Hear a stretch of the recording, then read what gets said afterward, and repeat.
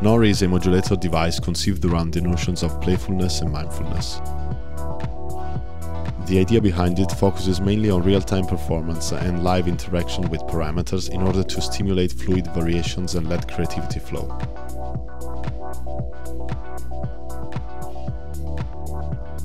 KNOR also blends intuition with a small yet powerful sequencer that allows the user to reinterpret its gesture in a more artificial way. All of KNOR's main features can be enjoyed at their best with the use of a MIDI controller. The device is in fact almost entirely mappable and its layout can be easily translated to any generic control surface.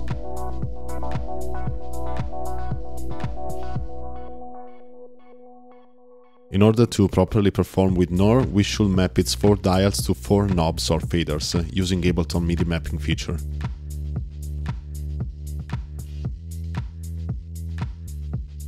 We'll need 4 buttons for the dial selection and other 4 for each gesture recording section.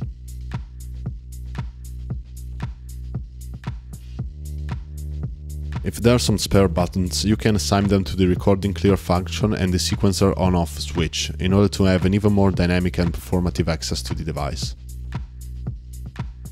At this point, we are already able to perform. Let's map the modulation target to a filter and jam around a bit without turning on the sequencer.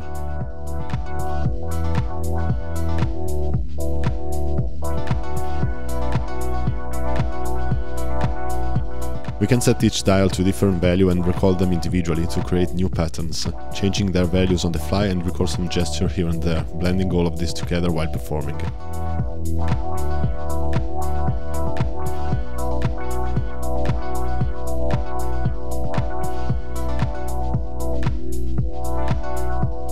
Switching on the sequencer, we can now use our buttons to hold the step on a specified dial as long as we want, opening a completely different realm of execution.